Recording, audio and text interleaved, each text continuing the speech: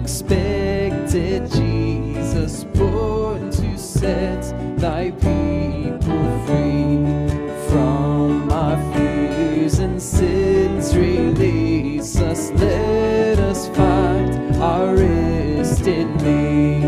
Israel's strength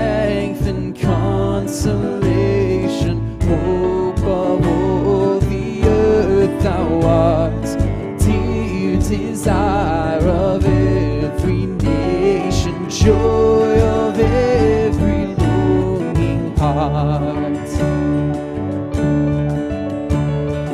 born thy people to deliver, born a child and yet a king, born to reign in us forever. Now thy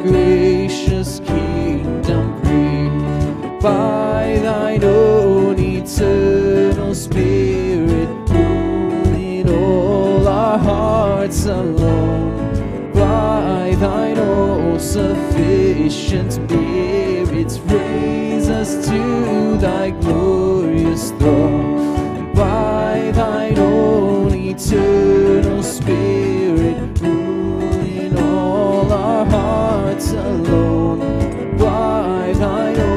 sufficient